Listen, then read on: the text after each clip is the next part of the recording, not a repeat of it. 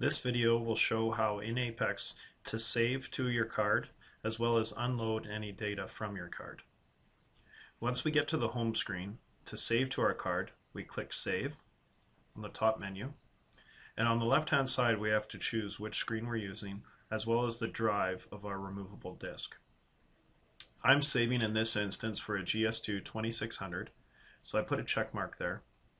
I then have to select my drop down and I choose which drive is my removable disk.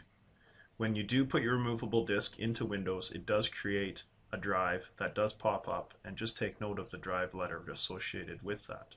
In this case, it's letter I. I select that and I can choose what I want to save. I can choose everything underneath my all my products and resources and tasks or I can choose if I only want certain flags or certain farms. If I don't want this farm saved, I just deselect it and this will only save my current home farm, Maple Farm Equipment client. And then everything else under this. If I have my latest display version, I can save here, or I can choose to save the previous display version. This warning comes up, meaning that some of the features may not be compatible, and to update. So I want to choose Save to the latest. All I do then is hit Save to Card, and it starts.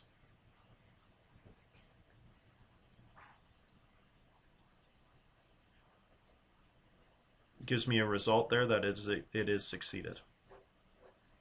If I need to unload from my card, all I do is again at my top menu click Unload, and the same thing follows. I choose which drive pardon me, which screen I would like, which is a GS2 2600, and my card path. It does default to this because I used it previously.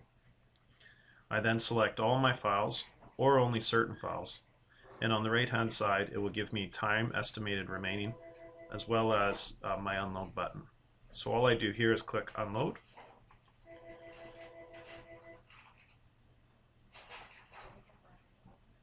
and it shows that these two files have been unloaded and I'm done.